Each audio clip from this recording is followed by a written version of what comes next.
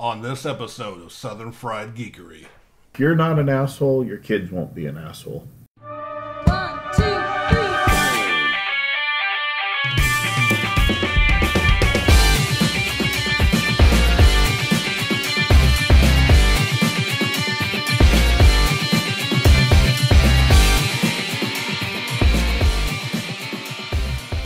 WWE SmackDown. It's a non-televised. Uh, it used to call them house shows. Now they're just Yeah. live events. Yeah, they're not- doing it It won't be on TV. They're doing it at Verizon. Verizon. Yeah. Well, that'll be fun, man. So, One o'clock, probably a couple hours long. so is it usually name talent at those things? or- Oh yeah, they have like the, the big uh the main event is a fatal five way match with like literally every top star on the SmackDown brand. Because right, the current champion AJ Styles won his title at a house show, non televised. And they showed stills on the actual television show. Wow. Very cool. It's a great way to pimp out. Hey, Yeah. come to live shows. Shit actually does happen. Yep. I mean, the best, one of the best shows I've ever been to, and I've been to a WrestleMania, Yeah. was a house show with Hulk Hogan. The first, only time I've ever seen him wrestle in person. And it was empty, and he his music hit, and you swore was full to the rafters, screaming. And the, and the only person who came close to that kind of pop was the Hurricane. I don't know if you were I watching in remember that Hurricane. era. I got And to. he had Green Lantern superhero. in training that worked underneath him. Superhero in training. I went to a, and this was a while back, but uh, I got to go to one. It was WWE, and got to go see uh, the, the Undertaker was there, Nice. and that's always been my guy back when I liked to ride. That's, that's Oh, yeah. my. So when I got my black belt, I fought a guy, not un, un, not Undertaker, but I fought a guy that you fought the Undertaker. You heard him. legitimately as big as the Big Show. Oh wow. Jesus. That's a big motherfucker. Yeah. I mean, maybe not, but it felt that way. Right. right. Oh, I'll, uh, I'll find a picture. when. I did a, I did my first uh, first time I went to a wrestling school and did some training.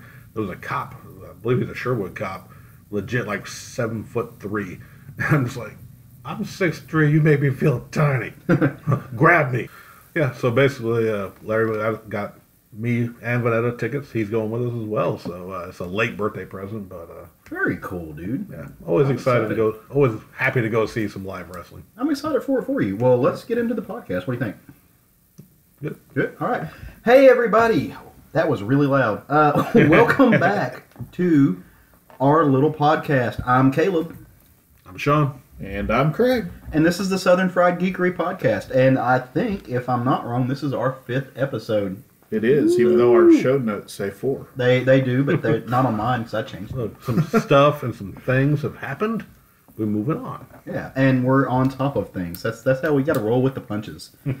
you improvise, you adapt, and you overcome. Mine now says five. It does. I see it. He used the power of the pen. How's your week been so far? We it's not been very long since we last recorded. Anything fun happen? Anything cool in your life? You know, it's uh, been a pretty quiet week, which is kind of the weeks I like. I've been playing some Monster Hunter. Last time Sean was over, he showed me some Hunter. tricks. Uh, and uh, you almost said tits. I, I- saw it in your face. I showed him tits. I almost said tips and tits instead of tricks. Gracious. So yeah, Sean showed me some tricks and tips, and I've been enjoying the game a lot more than I was previous to that. Yeah, and yeah, still talking about Monster Hunter. Yeah, that's what I've been doing besides work, playing Monster Hunter. But yeah, that's it's a great game, but it does really help if you have someone who knows how to play to show you just the little things Yeah, that can it- improve it the game. Change the game. Absolutely. Uh, yeah, I've been playing Monster Hunter, and uh, still, I don't think I mentioned it yet on the podcast about my New Year's resolution. Yeah, no, I don't think so. Yeah, uh, still doing that. Uh, my New Year's resolution because I do draw. I don't. I think I'm okay at it, and I used to draw a lot more frequently, especially when I worked at a tattoo shop. That's another story for another day. but I used to draw a lot back then, and I've been out of it since. And I've been needing some motivation to draw again. So my New Year's resolution, and I made it public on Facebook and on social media that uh, every day for this year I'm going to produce a drawing. Whether it be big, little, doesn't matter. As long as I'm drawing a new original drawing every day, and I'm posting it on there to keeping people updated. A lot of positive feedback, and I appreciate every one of y'all who have been encouraging. That's awesome, dude. Um, He yes, made his New Year's resolution Facebook official. he did. Yep. He really did, and Instagram official. Yes. Um, I, what is this Instagram thing? we got to talk about that later, Craig. and we probably need to get one for the show. That might be a cool thing that we could do. Um, you know, post pictures of the stuff we talk about. Uh, Yeah. We're doing good just to have a Twitter account, though. Hey, segue into that. Speaking of the Twitter, guys, if you have listened to our past episodes and have liked what you have heard, and we hope you have, give us uh, likes, give uh, leave us a review on iTunes, on Libsyn. We're on Google Play, we're on Stitcher, wherever you find us at, the many places that we're available. If they have an option to to give us any ratings or to give us a review, we would really appreciate it. It lets us know how we're doing. It's able to to give us an idea of how to judge ourselves and and what we're producing for you guys. It also kind of extends our reach a little bit. So if you have a certain number of likes on on iTunes or you have a, a good rating, they they help promote you. Uh, and we would like that because we would like to get out to more people just for the fact that we would we enjoy doing this and we enjoy reaching out and talking to other people who are into geek culture out in the world making new friends and you know just getting together for good conversation you can also email us at southernfriedgeekery at gmail.com you can reach out to us on Twitter at SFG Podcast. Uh, I keep an eye on that, so I'll know when you do, and I know when you say things you shouldn't. I'm like Weird Santa of the geek world.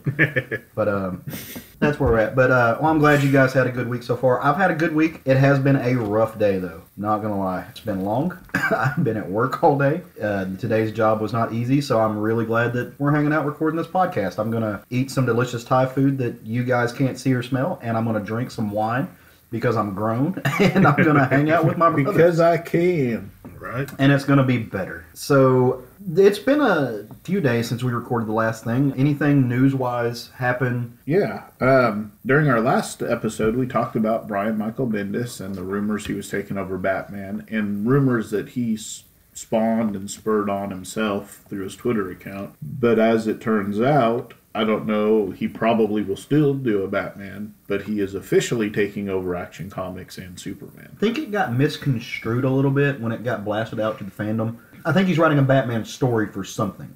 I don't think he's doing a Batman ongoing book. That I may think, very well I think you know because people have been wondering what he's going to be on. And I think it was at just at the perfect time, and everybody was like, "Oh, Batman! Like what?" And then you know Tom King's doing such a good job, everybody got a little s- scared, and they were like, "Oh no!" Speaking of that, scared, yeah. Uh, happy as I am that Bendis is going to be writing some good books, and he would probably do a very good Batman. I'm glad Tom King's not leaving the book just yet.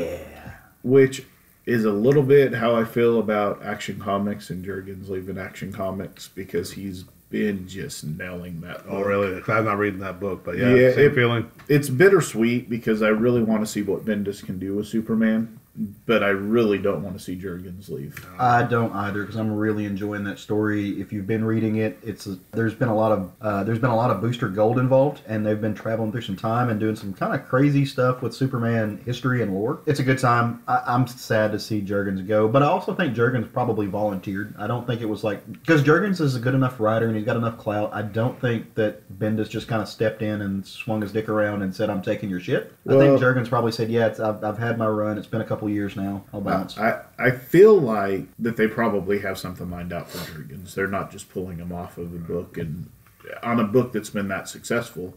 I don't know dollar wise how successful it's been, but as a person that doesn't read Superman, it's been a great book for me to read. Yeah. I, hmm. I've completely enjoyed it, and I actually enjoy reading Superman, which is something I can say has never been the case before. Right. Yeah, I'm, I'm not a Superman fan either, and I'm, I'm not on the main title. I am reading Action though, and I'm really enjoying it, and mainly because of Dan. He's a great writer. He's got a lot of heart, and he puts that in there. I actually like the book more so because of the uh, the supporting cast that's been going on right now. Um, this new, it's not. I don't know if it's a new Lois Lane because I don't have a lot of experience, but her doing this whole thing is rad.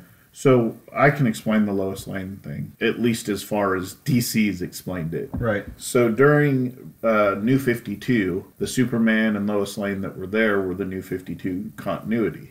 The post crisis Superman and Lois Lane and their son John were there and living on a farm, staying out of the limelight. And when New 52 Superman died, he felt like it was his time to take back up the mantle. So what you have is post crisis Superman now in the role of Superman, taking back over the role Right. that, that New 52 Superman had. Now, as far as Lois Lane goes, Lois Lane had become Superwoman mm-hmm. through the Kryptonian cancer that killed Superman. she died in issue one of Superwoman. So there was no Lois Lane. So it was easy to slide Lois Lane into the old Lois Lane spot. She just went back and started writing again and pretended she was her, cut her hair, made herself look younger because post crisis Superman and Lois Lane were a bit older than than New 52 Superman and Lois Right. Lane. So, or Clark and Lois or whatever. That's how they did it. Timeline, y'all. You know, it's comic books, and sometimes you just have to say, okay, it's perfectly feasible for some explain, unexplained reason that there were two Supermans on the planet, and one of them was content to do nothing. Yeah, I don't know why we apply physics and reality to one parts of books about guys who soak up sunshine and fly in underwear. because what else will we argue about then? That character can't be black, but he can soak up sun rays Yeah, and shoot eye beams.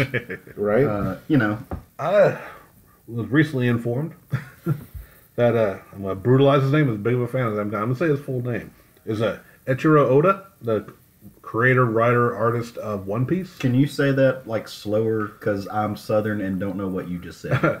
Echiro Oda. Okay. That's as close as I think I can get his name properly. I would just refer to him as Oda. Creator of One Piece. It was reported that he makes over 3.1 billion yen a year, which translates to about 26 million dollars a year. He is making off his little book, and it's, that's not just that's huge. Like, and I think even comparable to novelists, uh, Western comic book owner That- writer, like he's making more than most. There's not a lot of people in any type of humanities craft, and I, I consider writing and and art Yeah. that are making anywhere near that. I mean, there's a very few American style comic writers that are making in the millions, and when they do it, their name is attached to a television show or a film franchise.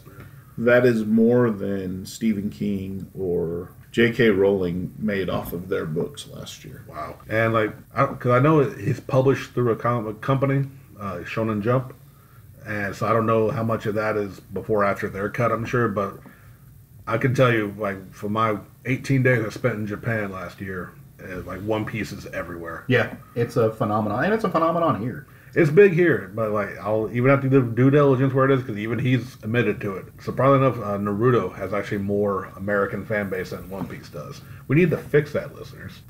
Read more One Piece, watch more One Piece. But yes, he's doing very well. I'm very happy to hear it. I just hope he doesn't work himself into the grave before the series ends. So another thing that happened this week, and this comes out of Hollywood, which I don't know how either of you guys feel about the Harry Potter films. Big fan.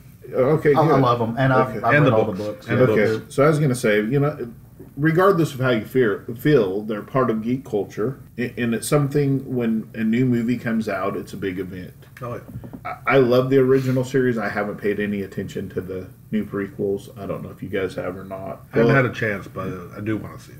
I've seen the, the the newest prequel. I guess it, it came out a year or No, two Fantastic ago. Beasts. so, yeah, so they're Beasts. currently filming the sequel to the prequel, Right, right. and right, and Albus Dumbledore's in this movie quite a bit. After the movies came out and after everything was done with the original series, J.K. Rowling came out and, and stated that Albus Dumbledore was a gay man. Yeah, and it and it never was- it wasn't addressed in the books or in the movies because it, his sexuality did not matter to the I to want to that say story. memory may be a little fuzzy. I want to say it was kind of implied. That's why fans were asking her, and she was like, "Yes." Well, it, it was implied if you read between the lines. Maybe, like, his, so maybe his s- relationship yeah. with the wizard that I can't remember his name that had the uh, sorcerer's stone. Yeah. It was implied that there was possibly some romance there. Mm-hmm. But anyway, so yeah, she came out on Twitter and she announced that he was in fact a gay man. Yeah, I remember when that happened. Right. So now the big to do is that they are not going to address his sexuality in the new movie. I have thoughts and feelings on this as a straight man, but I'm really interested to know what Caleb's thoughts on this are.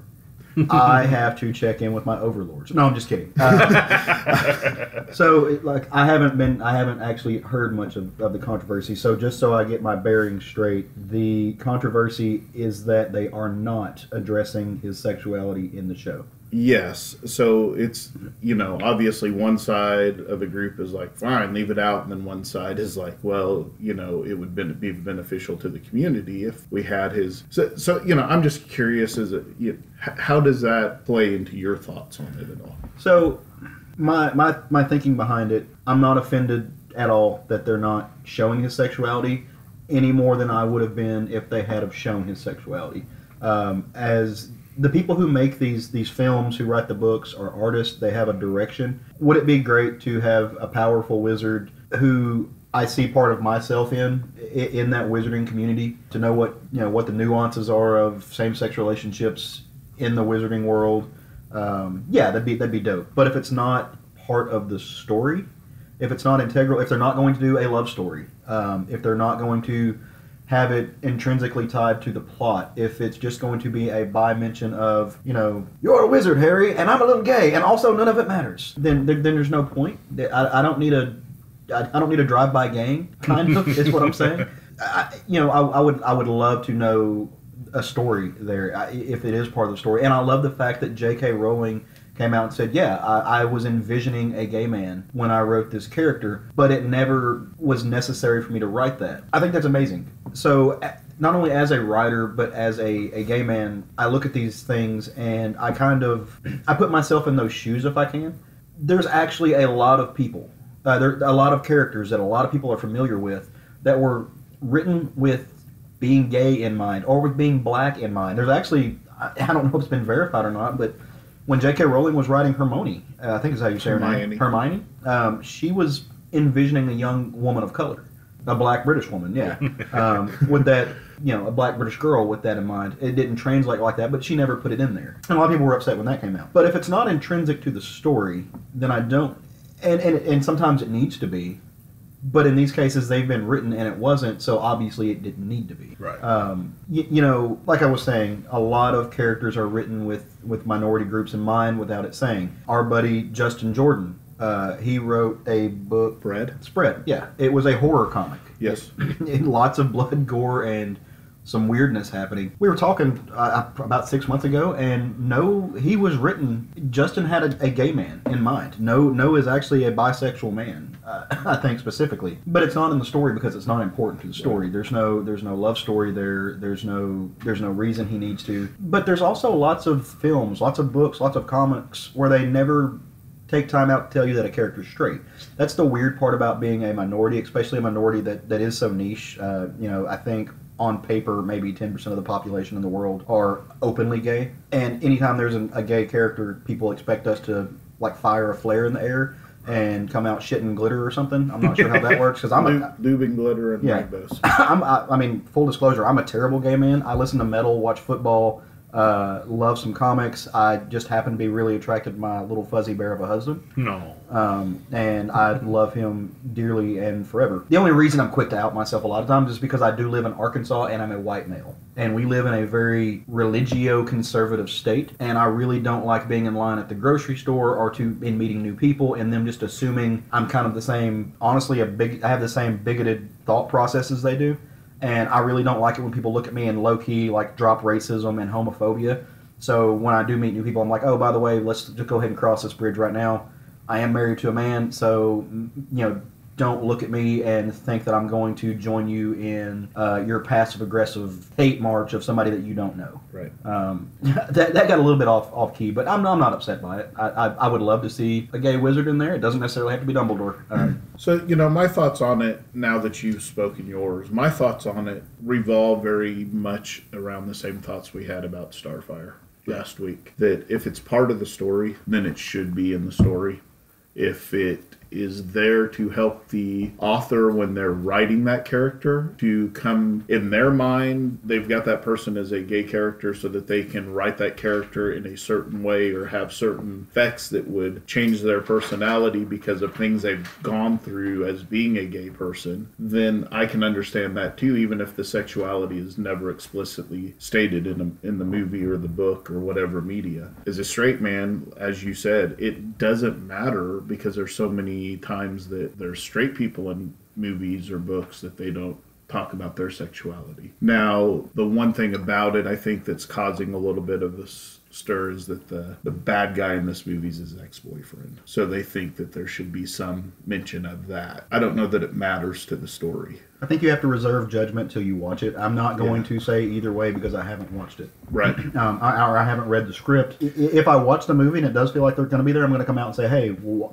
and this is the one thing I want to say. I don't want people to misconstrue what I said earlier as me saying representation doesn't matter because it absolutely does. It does. It 100% does. I still remember the first time I saw a gay character on TV that I could relate to. It was a guy named Vince from Will and Grace. He's a he was a New York cop that was Will's boyfriend. He walks in. There's nothing stereotypical about him. He's a police officer. He has a deep voice. He good looking guy and happens to like Will. I said, "Hey, that's me." Like th- like I never saw myself in Will. I never saw myself in Jack. I never saw myself in any of the characters. I finally saw myself in him. Remember the first time I read Midnighter in comics, I was like, "Holy shit!" Like that's that's me, and that's an amazing feeling. Funny because I could never see you as a cop. Well, You know. Uh, yeah, yeah, I, I, you're not wrong. um, but you know, I finally saw somebody that had the personality traits that that I understood, and that was even back when I was in the closet. I mean, like Yeah. that was a long time before it ever came out, but I still had the wherewithal to say, "Hey, that's me," and that's an empowering moment. Um, and if it comes out and they, they should have put that in there, then I'll come back and say, "Hey, you know how I said that that they didn't need to?" Then I was wrong because in this movie they needed to, and something was lost because of it. Again, I think you're right. Wait until we see the movie. Like I guess in short, if it's not integral, you don't need a fluff piece. You don't need them just to be like, "Hey, look, this is for you." If it's not integral, it just it feels false. It feels like Forced. they're just yeah forced. Right. There, that's the better word. Would that would that be fair?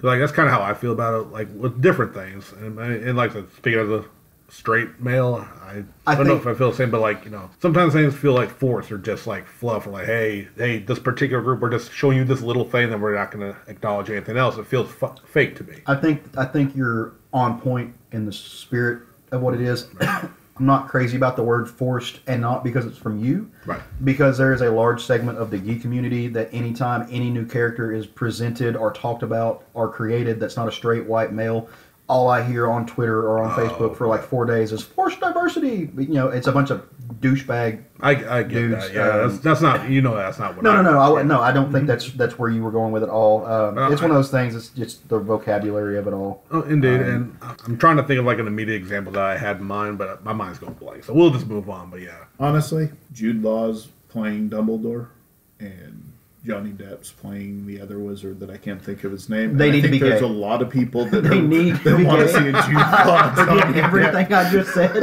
They Sexy. Need, not only do they need to be out, there needs to be at least three sex scenes. I need to go direct one of them. Let me write this, please. Call me. I'm available. I will quit everything I'm doing to write Jude Law topping. That changes the whole Depp. thing. Everything I just said was a lie.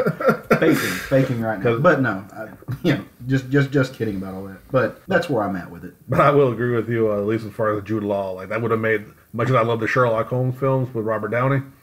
they were the best couple in the entire movie. He's a pretty man. Like he's not even what I'm necessarily into. I mean, like I said, my husband's a little fur burger of a of a bear, and I, that's my thing. But Jude Law's pretty man. oh yeah, I don't necessarily even have a type though. I don't know. you like what you like. Yeah, because I'd also go for Tom Holland in a heartbeat. Yeah. Sorry, they got real gay real quick. guys. This Hey, wine, we ain't ashamed. the- I- this this wine is good. we talk about what we talk about here. Um, so the only news that I really have, I had some other things, but they all kind of paled in comparison to the minor freakout slash heart attack slash existential crisis I had last night. Um, when I saw the news that Stan Lee had been rushed to the hospital for shortness of breath um, and some other things were going on. That man's my hero. I don't I don't care what anybody says about all the background noise between him and Jack Kirby because there's a lot of things that they don't know. There's also the editor in chief from that time who I think is the real villain of that story, but you can Google that information. Stan Lee is a saint to me. Stan Lee invented, helped invent the characters that I love. He, uh, uh, there's so much of my life that is centripetal to Stan Lee, and so I know he's an older man. I know eventually something, life is going to happen.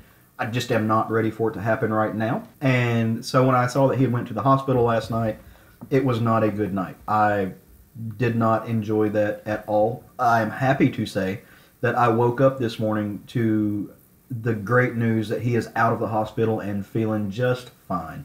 He is doing great. Had a little minor scare, like most 90, uh, 90 something odd peoples do. Octogenarian's 80 years old. What would 90 be? Uh, Old as shit. Sorry. um, Old as shit. But yeah, he's he's doing a lot better as of today. And Stan, sir, we, we, we love you and we thank you. And hang out with us for a little bit longer, as long as it's okay with you. If you didn't like me calling you old as shit, come on this podcast and fight me about it. yes, We're, it's gonna work one day. someday we're gonna get that call. We're gonna get that email. So you touched on it a little bit, his past and all of that. None of that. I mean, it matters to people, I'm sure. Okay, and and whatever happened happened. I wasn't there. I don't know. What I do know is that the man has become an ambassador for comic books, whether it's Marvel, DC, Image. He doesn't care. He's promoting a medium that we love, Yep. and for that he gets my respect. Whatever happened in the past, how he got to that point, again, I wasn't there. I'm hearing stories from stories from stories of Right. people. No one sitting in this room, and probably no one listening to this podcast, was at any of those meetings. True. Because a book was written a few years ago that cast him in a negative light doesn't mean it was factual. And the same people that want to say that news is factual yell fake news a whole lot. Yeah, they really do. I, I, I just don't want my hero to pass away. I get that. I, I have, you know, I have one biological grandparent left. I've got a step grandmother that's been my grandmother my whole life. Um, I, I turned 30 this year. Those people are my heroes, and Stan Lee has been my hero since I, you know, since the first time I saw Spider-Man on, you know, whatever cartoon channel, and since the first time I picked up any Marvel comic. Yeah. He was my hero when I didn't know he was my hero. right. well, again, just an amazing ambassador for the industry, for the medium that the three of us love. A- And probably if you're listening to this podcast, you love that medium. And the man will sign anything. He really If you'll pay him, he'll Yeah. sign it. I have a couple. I've got I've got a couple of Hulk books signed by him. Yeah. Um, well, I've got one Hulk book and I've got one Tales to Astonish book because my, my characters, you know, I, I top five, but in no particular order. I mean, besides number one being the Hulk, Namor's up there with with everybody else, and you know, you had Tales to Astonish, which was Hulk and Namor. So I have a lot of those books, and it's just fun times. Nice. I have a Spider Woman, uh, the one that's the very risque cover that got Um, all the of Milo. Yeah, Oh, yeah. Yeah. I got that signed by him. Nice. Very high grade. I'm very proud of that book. That that was a very high yeah, grade book. yeah, I think it's a nine eight. And then I've got uh, issue fifty two of Ultimate Spider Man. He he didn't work on either of those books, and I don't care. But Spider Man, I- Spider Woman, all came down the line from him. Yeah, I mean, So in in one way or another, he had a hand in them. Exactly. At some point, we're going to have to talk about the time I got to go to Washington, D.C. for reasons not involving comics. While I was there, I went to the Library of Congress and actually Shut got up, we to. hate you. I actually got to sit down for about an hour and a half with the original Steve Ditko pages from Amazing Fantasy 15. Oh man. Um, and they are gorgeous. I have really, really good pictures of them. Uh, if we ever do get an Instagram, I'll put them up there. There's a lot of coolness on those pages, man. And you Yeah, can see where nice. Stan has written uh, written Steve Notes. Ditko notes. Ah. There's one panel where there was a car, but you can see where they erased it. I mean, it's just it's beautiful. Ah, that's awesome. Um, but yeah, that's my news. Uh, Stan Lee had a moment, and Stan Lee is back. so, awesome. um, so shout outs, guys. Uh, let's let's. Anybody got you got anybody you want to say thank you to or to acknowledge in any way, shape, or form? Yeah, I'd like to to acknowledge a good buddy of mine, uh, Matthew Reynolds. He just another all around nice guy from the comic industry. He's currently working on Rough and Ready under the accidental pseudonym of Mak Rey. And this is a funny story.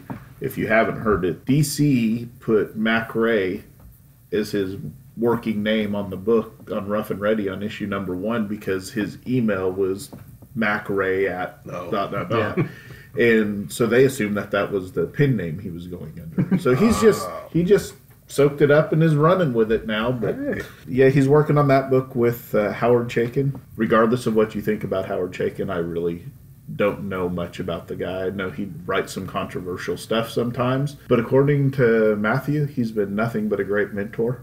Yeah. So you know, give him Oh, props. he's, he's he's good. yeah, his his stuff's good. So I, I want to touch on like we've talked about at least two different occurrences of controversy, maybe more in the first thirty minutes of this podcast. I do want to say one thing about controversy. If you get people to talk about your work and talk about what you're doing, even if it's controversial, then you're a good writer. I agree with that. Uh, in some cases, there's controversy, kind of like some stuff that happened last week with a comic artist who is a known lots of things, but I don't want to get into too much of that. That's not good controversy. That has nothing to do with your with his work. With Howard Chaykin, the controversy involves his work.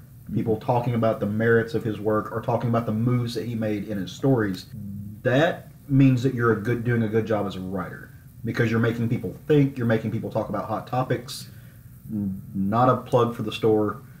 Though we uh, will take your money as a sponsorship. That that to me is the mark of a good writer. So, I mean, so let's talk about that book for a second since we went there. The name of the book is Divided States Yep. of Hysteria. It was very evident from the name of the book that he intended to stir up some controversy with it, and he did. But he's also working on Rough and Ready right now, which is a Hanna-Barbera licensed DC story. A good buddy of mine's doing the art on it.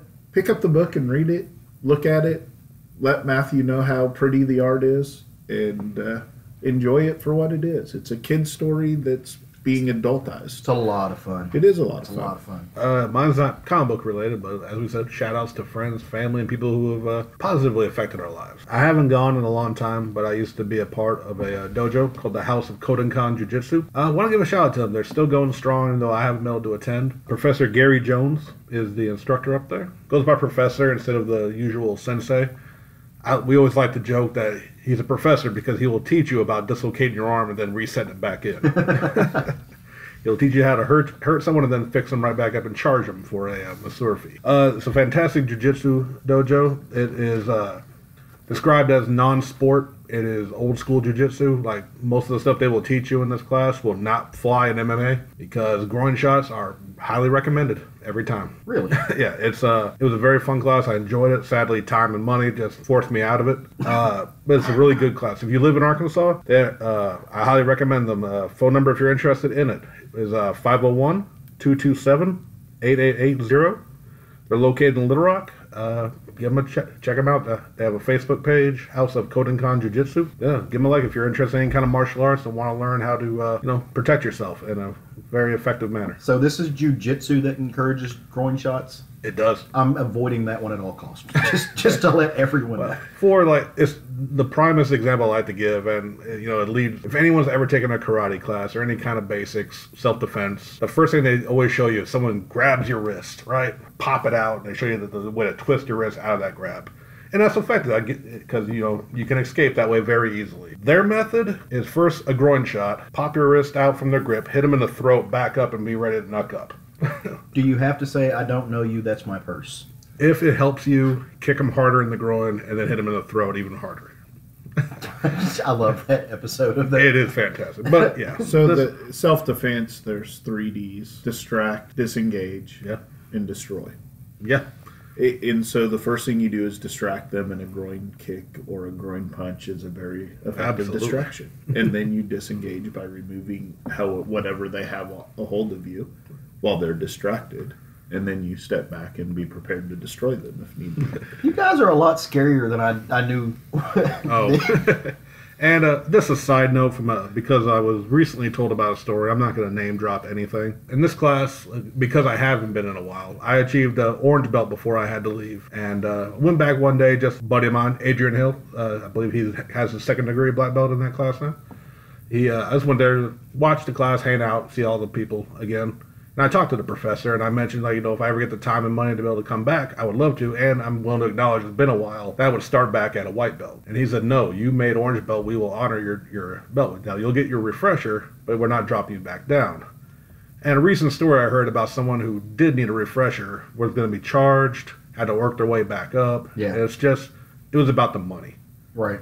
This this dojo is about tradition, about the martial art. It's the respectful thing to do is to honor somebody's belt, Absolutely. and I'll leave it at that. Yeah, I, I totally agree. I want to give a shout out to another podcast, and I know I've done this several times. I really like listening to podcasts. It's one of the reasons that I asked you guys when we were first starting to talk about this to do the podcast and stuff and to get this thing moving and going.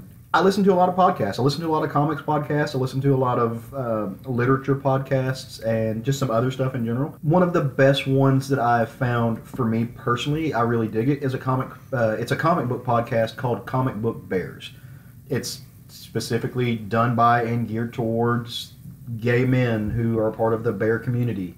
Uh, but they talk about all comics. It's not limited to comics that are just about that. They'll, they'll talk about anything from DC. They'll talk about anything from Marvel, from Image. They'll talk about any type of smaller publisher books. But it's run by a guy who has recently become a friend of mine. Um, his name's Mr. Bill Zanowitz. If you ever listen to this podcast, Bill, I, I, I think the world of you, and I really appreciate the the knowledge that you drop every time you guys record. I mean, we're talking about stuff that came out last week and stuff that came out, uh, you know, 30 years ago that he is just able to eloquently wax poetic about, and it's a pleasure listening to you and learning from you. I think it's really cool, so you should check it out, even if you're not a gay man. You don't have to be to listen to that podcast. I think you'll enjoy it. Um, there may be some times that they talk about some things that you don't know about, and that's fine because sometimes you have to deal with the fact that some shit's not for you. But for the most part, you're going to have a really, really good time on that show. Um, that does not mean that I want you to not listen to us. So please do. Um, and that's my shout outs for the week. Uh, yeah, Mr. Bill Zanowitz and the guys at Comic Book Bears. I was really hoping there were actual grizzly bears on that podcast. There should be. It's not hurt. It just fell over. Uh, Comic Book Bears knocked the mic out. Yeah, there was a mic drop on comic. There was. Bears. Yeah, that's literally like the mic dropped Mic itself. drop. Bill, the mic dropped itself. I witnessed it. Um, and yes, I'm drinking, but not that much. Last episode, we went kind of in depth on some comics that we were reading, and that was really cool. But leading up to this entire thing, and specifically, it kind of branched out from a comment on the first episode asking where this particular person should start. And, you know, we all branched out and said, I think the inevitable conclusion that there's no one place to start, and there's lots of places to start. It's one of those things that there's a plethora of, of open ended picking points that you can jump into. But what we talked about is how a really, really good place to start is by collected editions, or trade paperbacks, or omnibuses, or original graphic novels that are all one story. And so we thought we'd get together and, you know, we talk about a lot of current comics, but let's talk about some trade paperbacks. Like, let's talk Yeah. about some gra- uh, some some collected editions, some stuff that's out in print right now that you can buy co- complete editions of, um, or you can go and find them online or anything else, and they don't necessarily have to be for any particular time period or any particular genre. Like this is kind of just an open-ended free form. Uh, just quick side note, as a question I meant to ask when we originally discussed this, and it finally popped back in my head because we discussed the term graphic novel, how it's kind of thrown around. Yeah. But I think like if someone is wanting to use that term, would a fair description would be a book that originated in a collected volume, Yes. never released in floppy. Always that like top of my head, uh, Habibi. Yes. And blankets. They were, I I believe, they were always released as a collected volume. March is another example Right. of that. Yes, that's what I consider a graphic novel. Mm-hmm. To me, when somebody calls a collected edition of floppies that have been put into a trade paperback or a hardback, and they call that a graphic novel, Right. Right. The term does exist for an actual product. Yes, that This is real, people. We're leaving it in. This is real life. We're not ashamed. Oh, Stephanie's got the giggles. Craig's wife is really adorable, guys. She, she So- really is. She is. She's great. Um, so, so yes. but yeah, I just wanted to kind of bring that up just so you know people who are used to that term, at least you can learn how to use it correctly or not be ashamed. Actually, I have a little bit of a different thing to throw in on that because of what you said. It's never released in floppy. Right. I actually don't think that disqualifies anything from being a graphic novel. I think a graphic novel is a enclosed story that has a starting point A and a starting point B and never plans on it being anything outside of that. That's fair. And it's Yeah. one contained story. Specifically, the reason I say that, The Watchmen came out in floppy forms.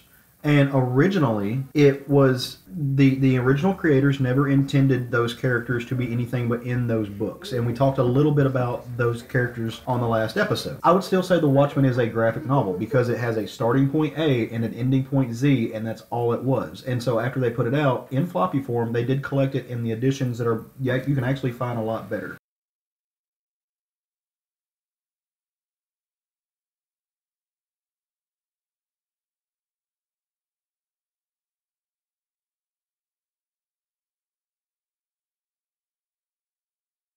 So the I agree with Caleb's assessment 100%. It's either written to be in a graphic novel, uh, to be a collected edition, or it's written as floppies to be eventually a collected edition.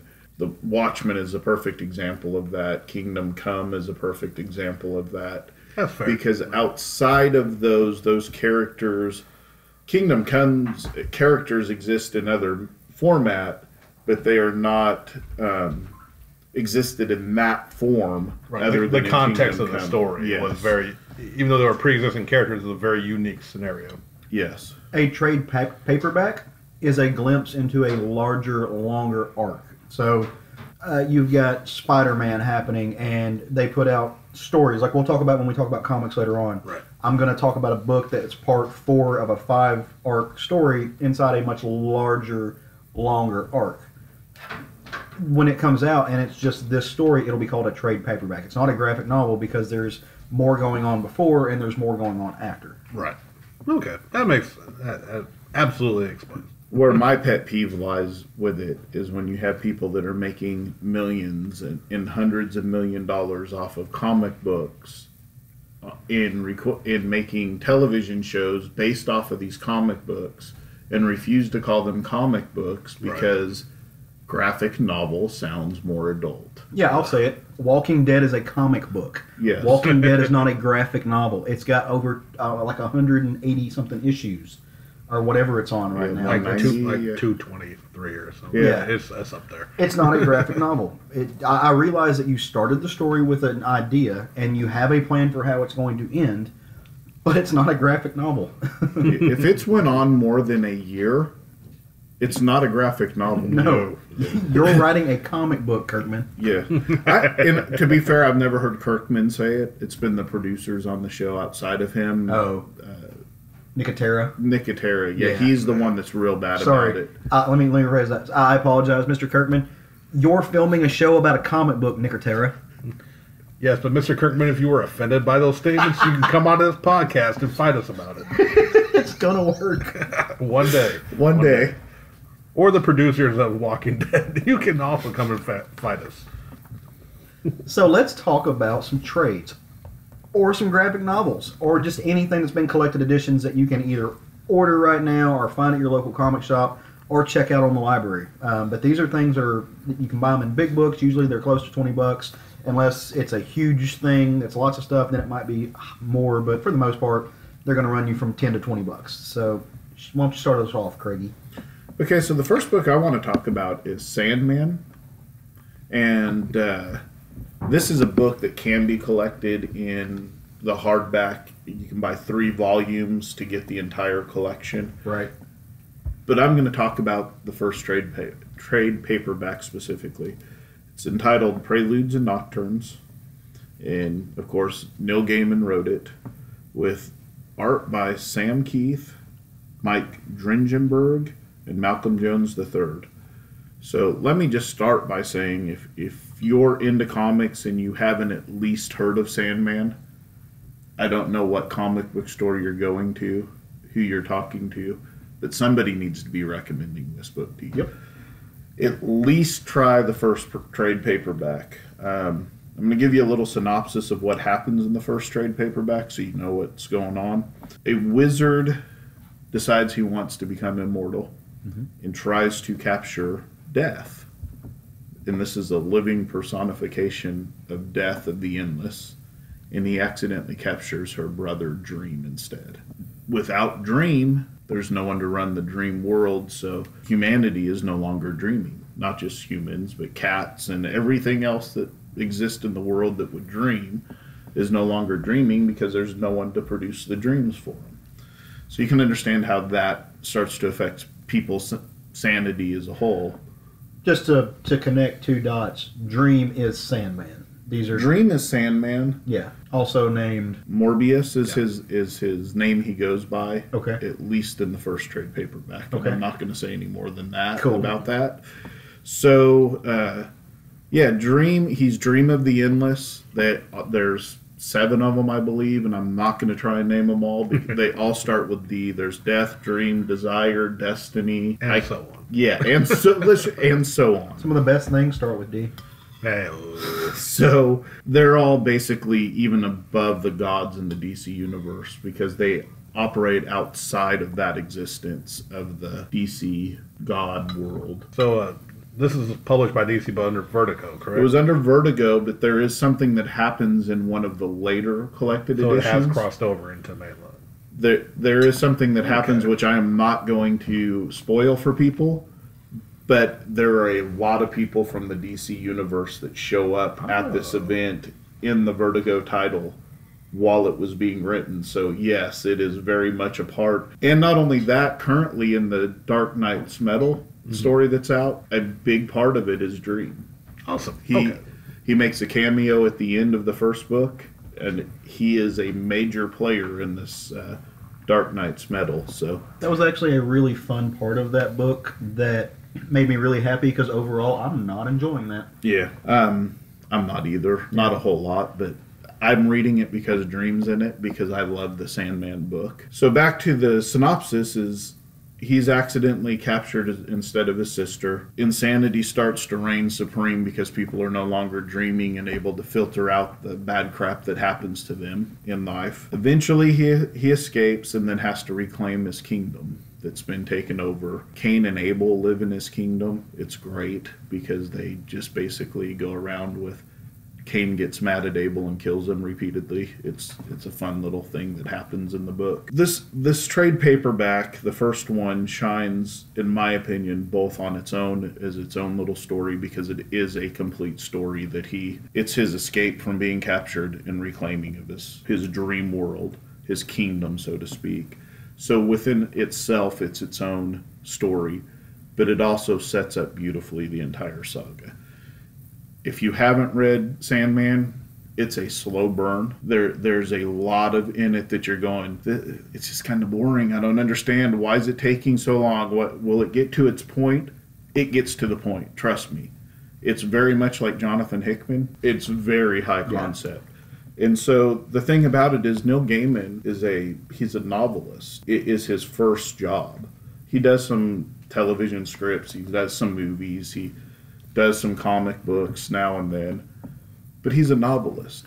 He sets things up way back at the beginning that play out, you know, 120 issues later. But you have to you have to let it develop, or else you're you're just missing kind of the the whole point of it. Yeah. You know, it, it's a it's a slow burn, but trust me, the payoff.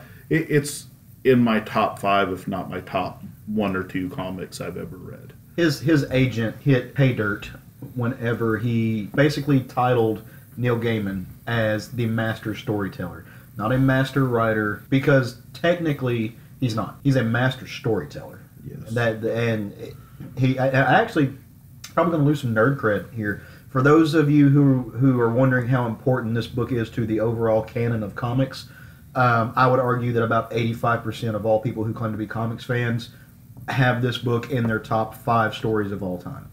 Um, I've actually not read it. Uh, it's it's it, it, the subject matter has not been something that's ever grabbed me. It's something I'm going to do eventually, but something I haven't done yet. It's like I said, it's it's never been that type of story has never piqued my interest. But quality wise, there's a reason that this is almost a cornerstone of an entire section of one of the two biggest uh, publishers. I only have a little bit above you on that because I have one Sandman story, and I only bought it because Yoshitaka Amano, the artist of Final Fantasy from day one, drew the book. That's the only reason I bought it, but I did read it, so I've read a Sandman book. Well, um, I've read one arc of the Sandman series. Um, I read the overture. That So came out. that probably didn't make a whole lot of sense to you. not not much. Okay, so that takes place after all of the events that happened in this story, but kind of retells some things. Well, from what I understood, it's actually a it's not a prequel, but it's it's setting up that entire thing. If I'm not wrong, It's a prequel told as a sequel. exactly. I- yeah, i- if you haven't read it, the original Sandman, first of all, by reading Overture first, you're blowing a huge surprise for Making a yourself. mistake. It's um I- I don't want to say too much, Yeah. but don't read Overture first, people. I know it came out recently and it was easy to grab off the shelf. don't read Overture first. You are not the first person to tell people not to do with things that Caleb has done. read read Sandman first. I promise. I would almost give a money back guarantee. Oh, if you're a comic fan and you read it and you don't like it, I would almost say I'll buy your omnibus from you. if he won't, I probably will because I need to, to, to own it. Uh, I, I promise you, it's that good of a story if you let it develop, and it's not in and of itself necessarily a comic book in the traditional sense. It's a story told through a comic concept through sequential art. It's not necessarily a story that had to been told in a comic book. Awesome. Also cool because Neil Gaiman is married to a member of a band that I was a big fan of way back in the day. Uh, maybe you've heard of them, the Dresden Dolls. I Ever have heard of not. I have not. I have, the name sounds familiar, but I know Dresden Files. no, that's what I'm thinking of. Um, yeah, he is married to Amanda Palmer from the Dresden Dolls, and that's. I was kind of a goth kid at one point in time, and I'm even so though shocked. right, even though that that band was kind of after, or it was kind of before me, um, I'm still a fan of bands like The Cure, The Cult, and the Dresden Dolls have a place in there as well. So, and they have a beautiful baby together, who I'm pretty sure is going to do amazing things in life. Because how can you not when your mom's Amanda Conner, uh, not Amanda Conner, is your is Amanda Palmer Different Amanda, just as talented. Very talented. Like, and Neil Gaiman. Uh, yeah, I will go next. Um, so I actually want to talk about a book that I'm willing to bet neither one of you at this table has read. I thought you were grabbing My Hero Academia. I, I wish he was grabbing it, but no. No, I'm not. I'm not grabbing My Hero Academia. I'm taking a drink of wine, so I'll quit choking to death. I don't have the shakes anymore. um, no, I, I want to talk about, and this actually is an original graphic novel. This is a good example of a, of a book that there is nothing to come before this. There's nothing to come after this. It's it's a complete story, and this is a book that I don't think not only you guys probably haven't read unless I've told you about it. I'm, I don't think a lot of people know about because it's not what you would traditionally think of when you think of comic books. It's more of it's graphic storytelling. It's also realistic fiction. So this story, uh, just jump right into it. It's called Adrian and the Tree of Secrets. Um, it's a story by a guy named Hubert. He's kind of he's one of those people who only has one name, so maybe he's the Cher of of comics like this. But it's illustrated by a lady named Marie Caillou. She's French, and the book actually is Italian originally, and it just got translated last year. It is phenomenal. It really, really is. trying to think of the best way to put this. It's the story that that's dear to my heart because it's about an adolescent kid who knows he's gay, who realizes he's gay and realizes that he's different from everyone else. And you know, big shocker, the gay guy on the, on the podcast is going to tell you about a gay story. um, you don't have to be gay to enjoy the story. It is so human, um, so nuanced, and and beautiful. The I kind of want to get off starting. I want to start off talking about the art instead of telling about the story first. It's done digitally, which is something I really don't like because that means I can't go buy the original pages. it's got a very muted color scheme. The colors are vibrant, but they're muted. There, you know, there's some, there's lots of blues and pinks, uh, but there's no sheen to them. It's all done on a very matte kind of spectrum. Um, so the story starts off the kid, he's getting ready for school, he's doing all these things. You know, he lives with his mother. Uh, the father figure is not in his life. He's kind of a nerdy kid. He wears sweater vest, has glasses. You can kind of just see by his disposition, he's kind of unhappy, just generally. And, and you don't know why. He starts off on his way to school on the first couple of opening pages, and he's on the bus and he's riding, and he, they pass a bridge. And on this bridge in the background, you can see a figure just kind of leaning over the edge, looking down. And he just kind of looks. He- like, in the storytelling by the art is so good that there's actually no word balloons on this page. There's no there's no narrative. It's just he looks over and it kind of goes to a close up of the guy looking down, and then you see the main character, the boy walking by, and you just know you, know that this person's just jumped off this bridge. This this this person who doesn't have a big part in the story just committed suicide, and you don't know why, but you do. You you know why because of the context. The, the anytime in a book and art can tell you context, that's something that's just magic. That's something that like ninety percent of comic artists who are professional and engaged in the, the industry today they can't do. Marie Caillou does that. She she tells the majority of the story and the majority of context. Well, so the book goes on. Later on, you learn a little bit more about what happened with the kid who jumped. Turned out to be a kid. Turned out to go to this kid's school. All the kids are gossiping about it. Uh, the, the boy's friend comes up, and she's a kind of a goth chick. She's wearing a black hoodie, has a little emo over happening, and you know they're friends and doing their thing. But there's you can just tell that there's something going on. Like there's been a change in this child's life. There's there's some there's some recognition of some things that he's not comfortable with and not comfortable in dealing with. He goes on through the story to you know you realize he's not the best in sports.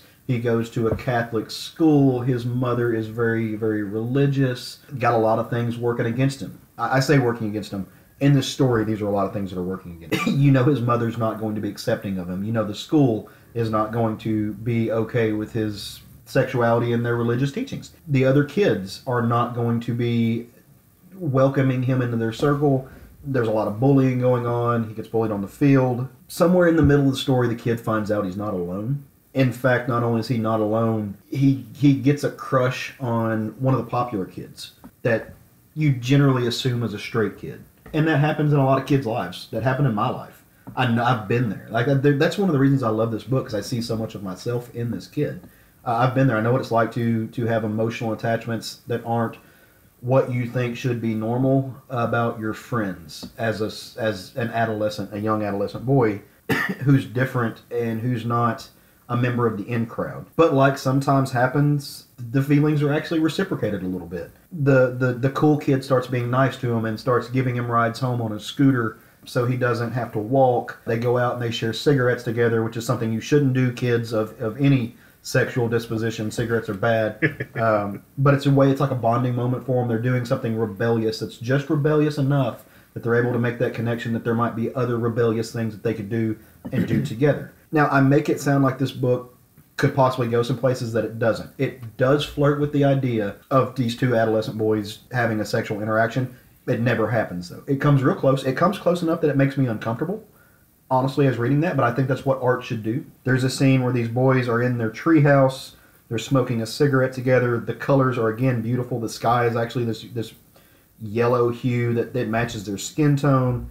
And then the cool kid, and I'm not saying names on purpose. I want you to go. Obviously, the main character is Adrian. The cool kid reaches over and kisses Adrian. But I don't want to tell you who the cool kid is. You'll figure it out when you read the book. And of course, he's taken aback, and they're both kind of embarrassed. But then Adrian kisses him back, and so you're like, "Hey, yeah, winning. This is awesome."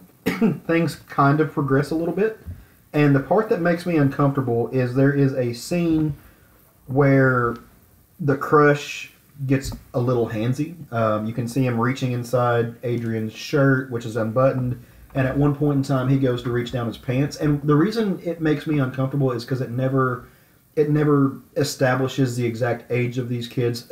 At the end of the day, though, I don't care who you are. Your teenagers are having sex. Don't fool yourselves. it's a scary thought for parents. I know it is, but it's a thing. Like the minute puberty happens, hormones kick in, and your kids are thinking about sex. But like I said, it, it never happens. Adrian backs him off a little bit. He's like, "Hey, I'm not ready for this," which is also a really cool thing because it's breaking a stereotype that gays are over sexualized and they can't say no to sex, which was neat.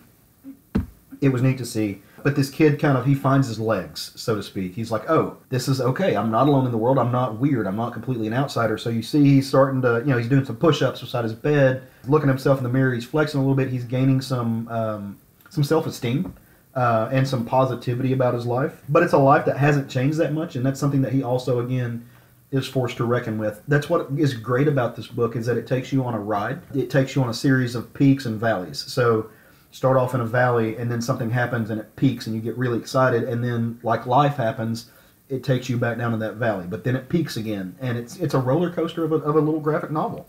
Eventually, like what happens with most things, with real life is the story does not end the way you want it to, um, which is why I say it's fictional realism. This is not a fairy tale. This is real life. The boy rejects Adrian um, because some people find out about him, and Adrian gets sent to some counseling. There's a very religious pray the gay away moment.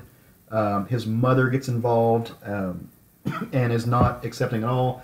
His aunt kind of steps in as being that cool aunt who gets it and kind of kind of makes you wonder if she's a lesbian in some moments, but I don't think she is. And so for a little bit, there's uh, there's more peaks and valleys trying to walk you through these uh, these nuanced nuanced moments of humanity and get you in the psychology of this young boy. You know, spoiler warning if you haven't read this book. And anytime we co- talk about comics, there should be a spoiler warning. Yeah, absolutely, guys. We're We're, not- talking. We are giving full synopsis of these books. So Indeed. um, the the boy gets roughed up a little bit by some other kids. One of them being the kid that kissed him initially and started him down this process. And the book ends where it begins. Adrian walks to the sea. He stands in the ledge. He takes off all his clothes. He walks out into the water, and the book closes with a very gorgeous image of a sunset and the water not rippling.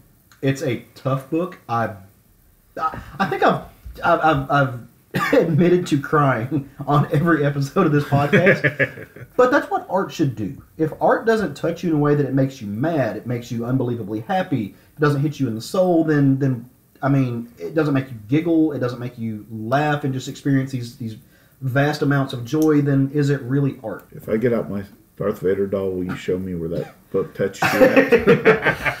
Uh, no, I mean seriously. It, regardless of the sexuality of the of the characters of that book, and their it's a story of uh, unrequited love. Yeah. It, you know, he he falls for someone, and they they don't fall back for whatever reason. Right. Whether it's state, I mean, the same thing could be said about a mixed marriage or a mixed relationship. Yeah. It's something that hits home for a lot of people for a lot of different reasons. It does, and that's where I'm saying you don't have to have ever been a little gay boy to understand what this book is. You, you can have been a little straight boy. it's a human condition no matter what your sexuality is or what socioeconomic class you're in Yep.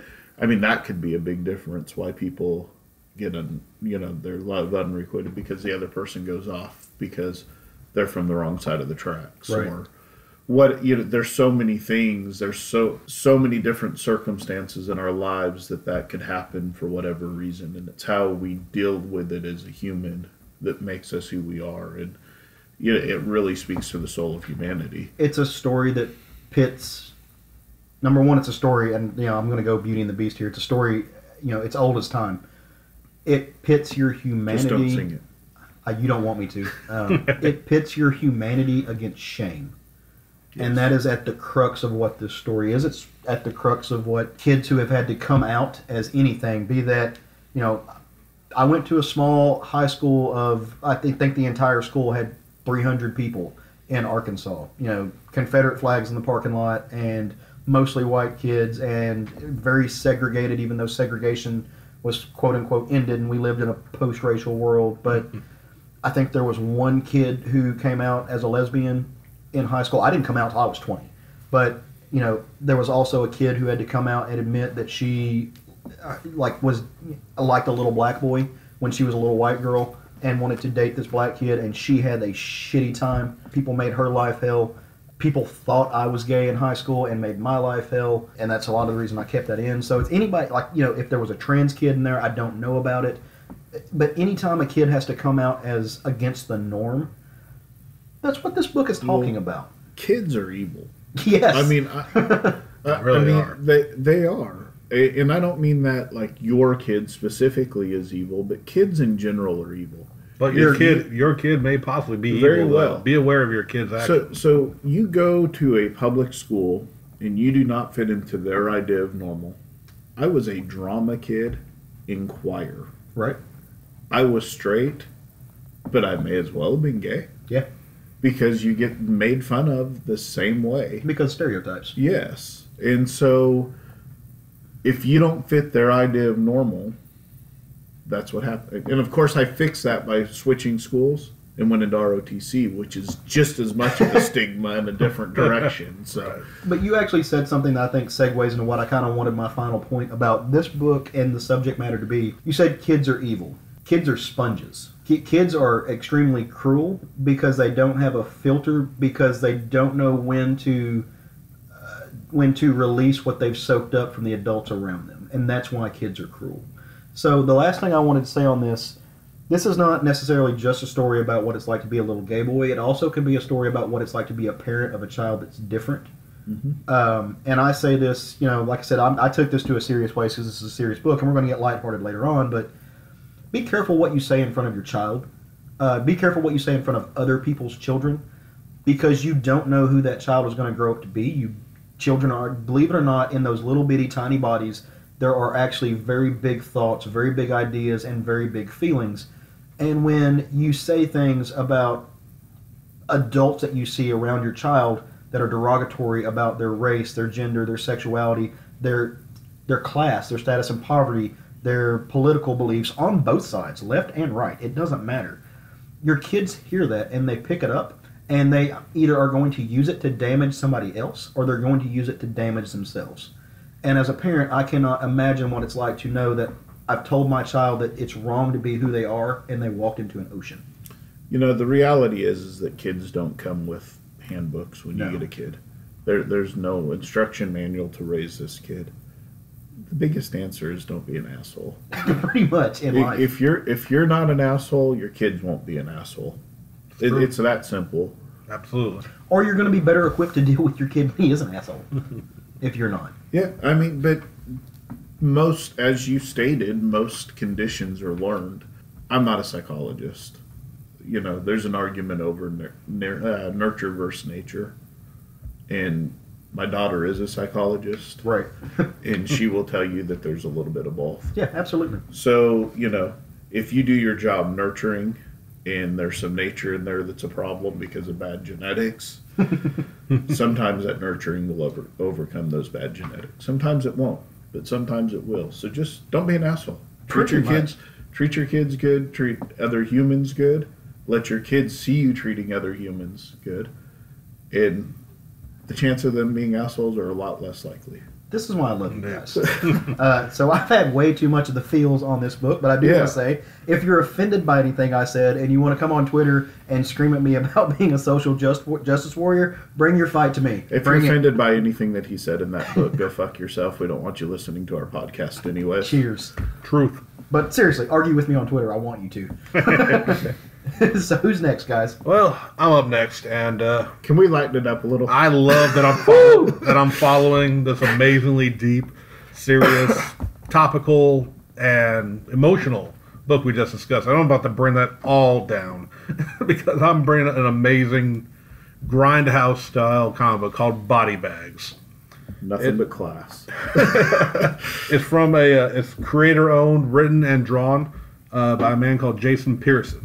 Not an overly well known author and writer or author and artist that I'm aware of. I haven't heard many people talk about it. He has worked on books from Legion of Superheroes to uh, Global Frequency, and up until I actually did my homework because I want to make sure I really pimp this guy out. Thought you didn't do homework. I don't normally, but I'm a big fan of this book, and not many people know about it. But he also worked on a little book called The Dragon: Blood and Guts. It was a miniseries about Savage Dragon. Oh, of course it is. I have to. It was on my list. I didn't realize he worked on it. That's another tale. Body Bags is a uh, book. It was published in 1996. So, and it, it definitely feels that era. But it is a uh, this blood and guts action comic about a father-daughter hitman team. They are, in fact, and it's one of the few books I can say I, that come to my mind where you actually have a Hispanic lead characters, uh, Mac Delgado and Panda. Yes, her name is Panda. And it's amazing. okay. Uh, basically, he is a hitman. He is an incredibly large man who can, who carries two giant knives. This is long before Machete came out.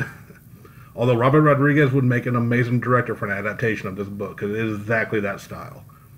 It's, If you do it, Robert Rodriguez, we only expect a small Percentage? percentage just acknowledgement. acknowledge us. Yeah, just put our names and you know, just put the Southern Fried Geekery name in in the I'm all about it. credits somewhere. And if you don't like me telling you what to direct, come on this podcast and fight me about it. but yeah, Body Bags, it's a brutal book. It is it caused a lot of controversy for many things, and I will just be upfront about it in case none of it is to your taste. It's very bloody, very violent. Within the first couple pages, our lead quote unquote hero, who goes by Clownface and professionally wearing a luchador mask with a smiley face on it, uh, stabs a crack a pregnant crackhead woman in the stomach to kill the baby. God damn. Yes, it's it is brutal. Wait, what? You, you want to see the page? but uh, yeah, it's it's no holds barred. Very look, he he was there to do a job and to make his point across.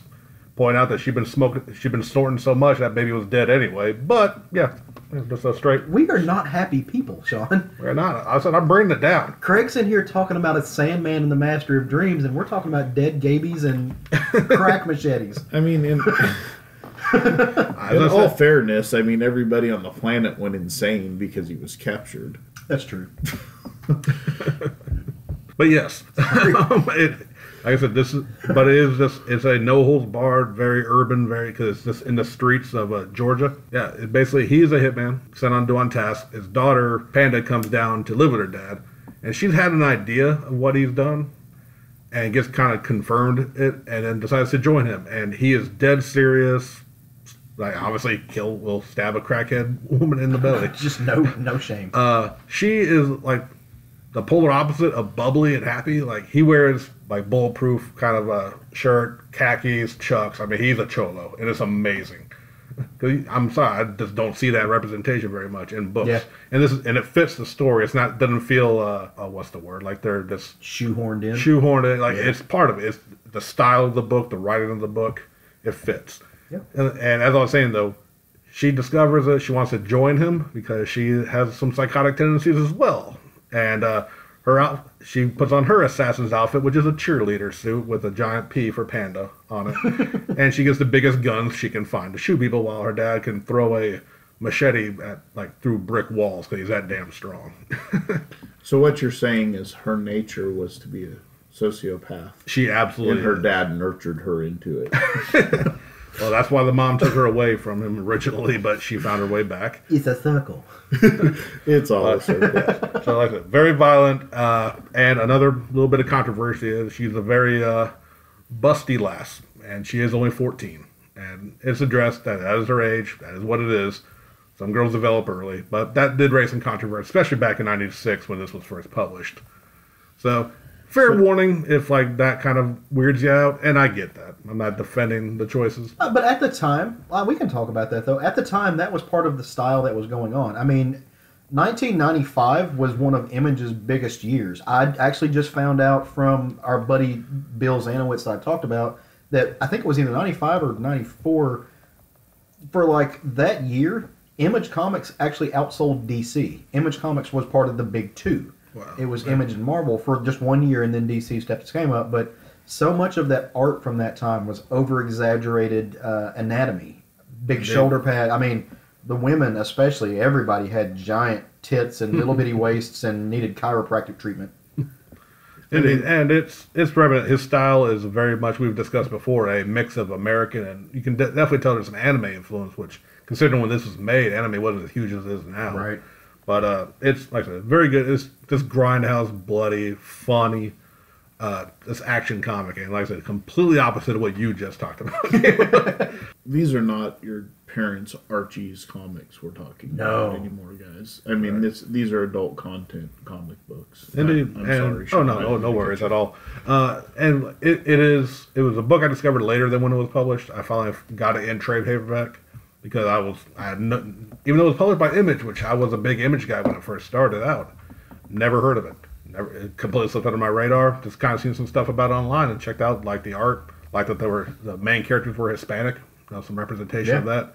And it's not a superhero book. It is. It is a very much with the exception it's based uh, largely in reality with the exception of the fact that clownface can throw a, a machete through a brick wall because he is that jacked uh, it's very ground based it's just it's gangs it's drug dealers and they're taking them out and listen very good action very good grindhouse if you like that it's no heroes no good guys no bad guys they're, they're all bad guys should i say Who, who doesn't like a good grindhouse story? indeed That's, I mean, I still love those movies. I we should we should do an episode where we talk about grindhouse films sometime. yeah, exploitation. definitely I a- have an aunt that was in exploitation movies. Really? Yeah, Wait, was this the? my grandma's sister, I think you've told me about her before, but I didn't realize that she was in. Roberta Reeves. She was in the Amorous Adventures of Don Quixote. Look it up. Your family's amazing to me sometimes. So we're gonna do a whole episode eventually Craig's just on family. And uh, just just a little side note on this thing. Pretty sure that's Hellboy walking around the streets of Georgia right there in that, That panel. absolutely is. It is. Uh, and also the guy's in got a an Sin, image comic. also the guy's got a Sin City shirt on. Oh yeah, like I said, this little. That's and this is just a crowd shot, randomly inserted in. That's It's just- that's why I love low low level. Con- I, no, Right. that's, that's the wrong word.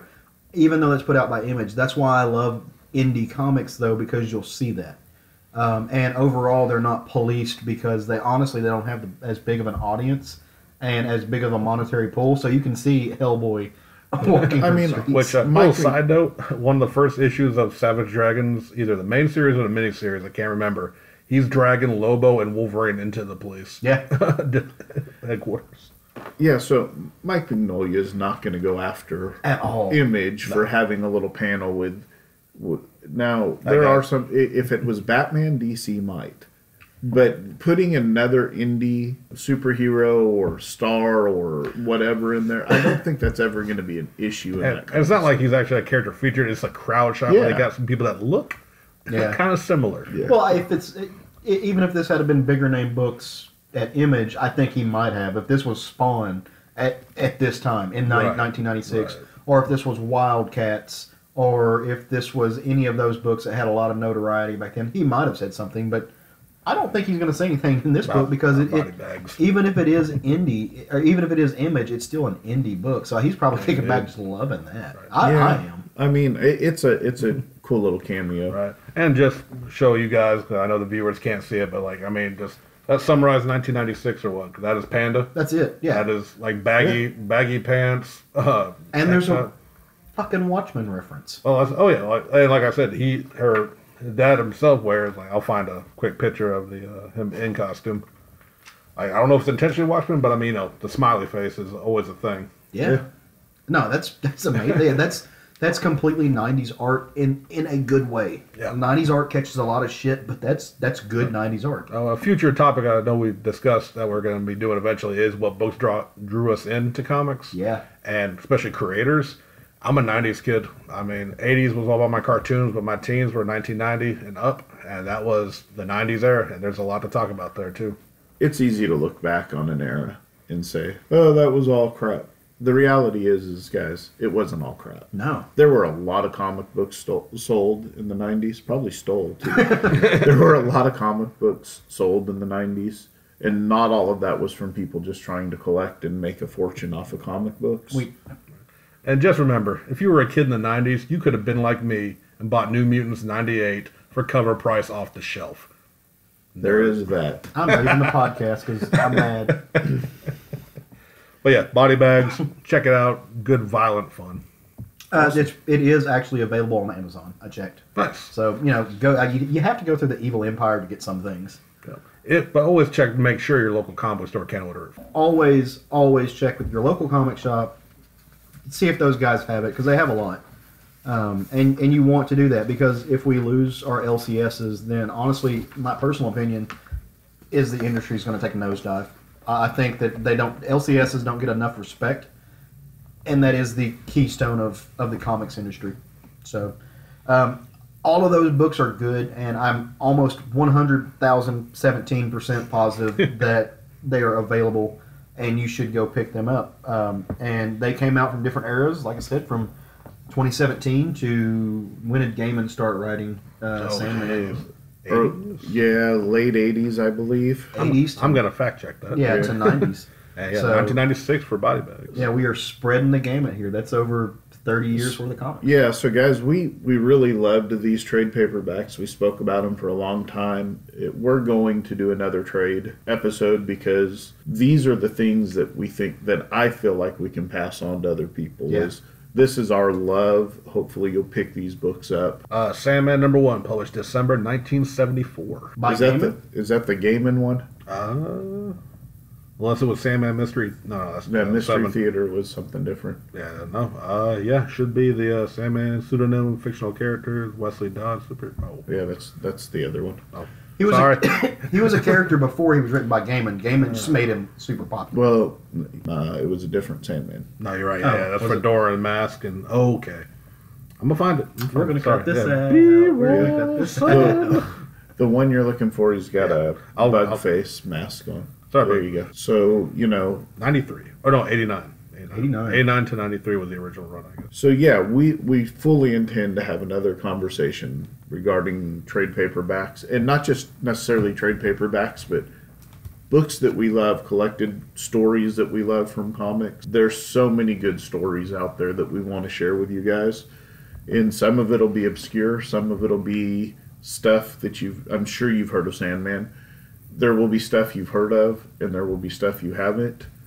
Yeah, uh, Adrian and the Tree of Secrets is a perfect example of something you haven't heard of, but it really affected Caleb when he read it, and he wanted to pass that on to you guys, and that's what we hope to accomplish with these stories is to give you a little piece of what we love about comics. Yeah, and next time I probably won't pick a book that's a piece of realistic fiction or that tou that that hits me emotionally the way it did. I'll probably tell you about some crazy sci-fi stuff. Um, I actually had four different things prepped to talk about, and I didn't know which one I was going to do.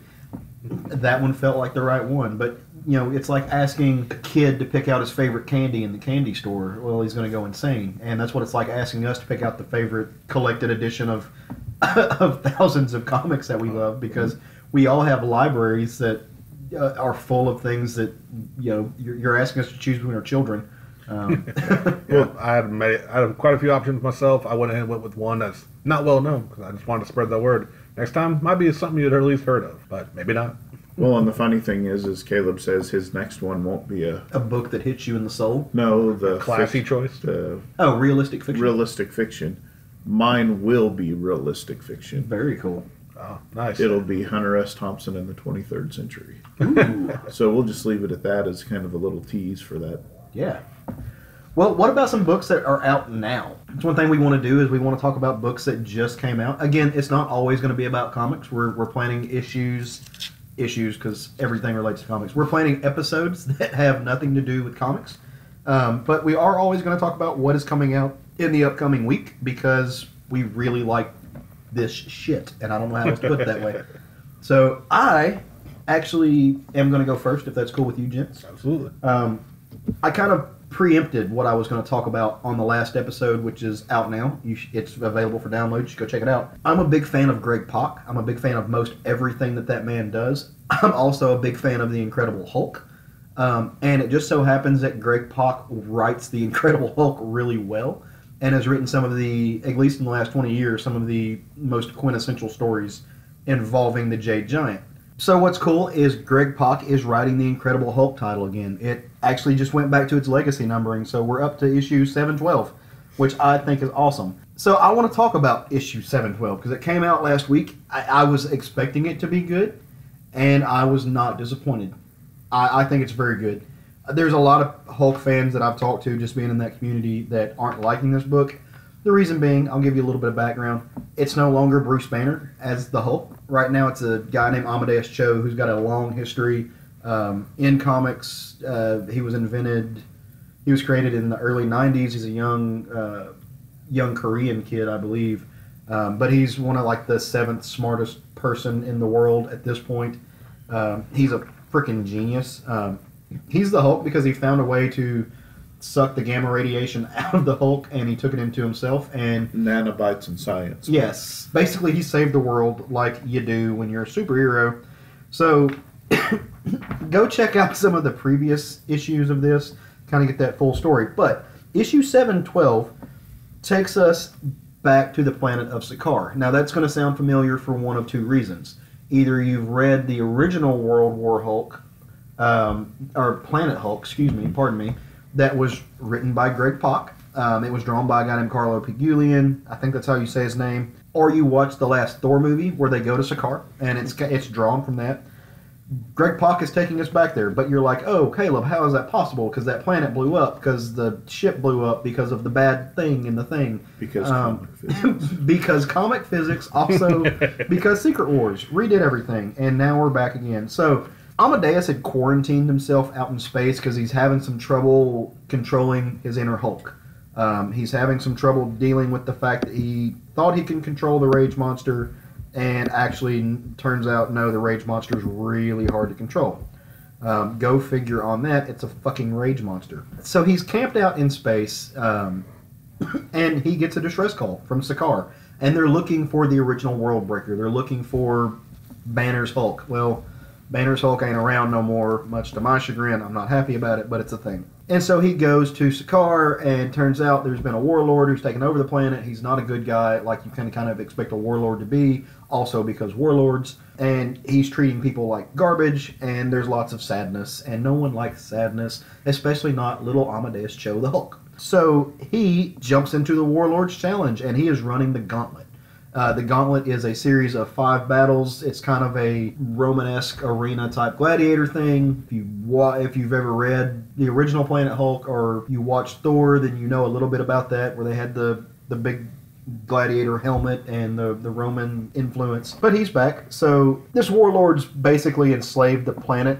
And they're all of their different nomadic clans, and they've chosen Amadeus Totally Awesome Hulk to be their champion. And he has beat the first three levels, which he wasn't supposed to. The warlord's getting all upset because his plan's not working out. And he releases his fourth champion. It's Thor Odinson.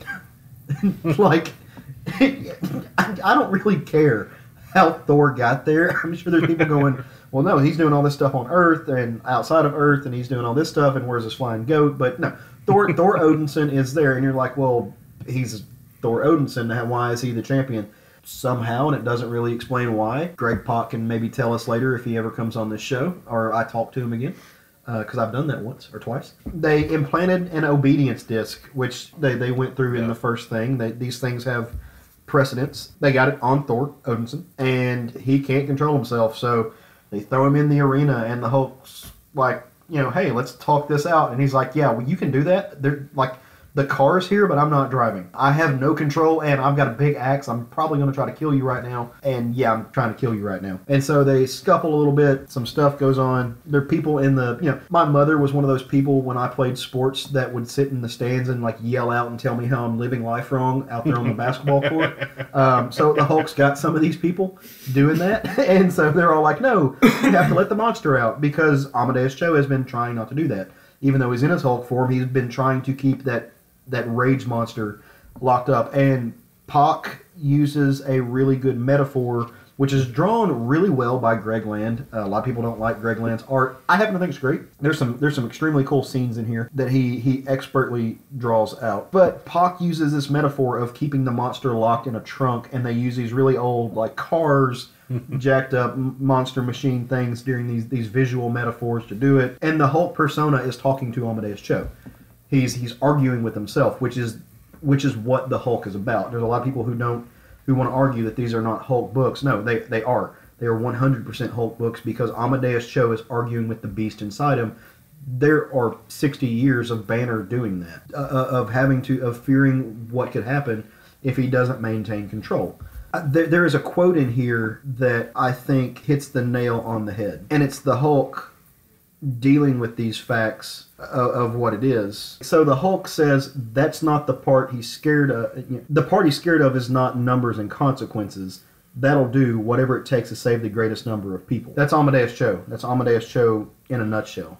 He does worry about those things because he is, is a scientist. But then it goes into kind of an ethical question of if I let this beast out, he's going to kill Thor, but it's going to save an entire planet of sentient people who are innocent and don't deserve to die because Thor's about to crack this planet in half. He is a god, after mm-hmm. all. And he may not have Mjolnir in this scene, but he's got his battle axe and he's raining down some pain. He's going to hurt people. And if they lose, if the Hulk loses, all of these people, it's going to be a genocide. And so it has to, you know, Amadeus Cho is dealing with this this question of do I sacrifice one to save many? And the answer is he doesn't choose to go left, he doesn't choose to go right, he chooses to go straight forward. He doesn't kill Odinson. I don't know if that would actually be possible or not. That's one of those questions that nerd nerds argue all the time. Um, That is a quintessential nerd he argument. knocks him out, knocks him down, and then rips the obedience chip off his chest. That part was lackluster to me. I'm not gonna lie. That's I, you know just in the spirit of honesty. When it reached that part, I like it was like a balloon with the air being let out.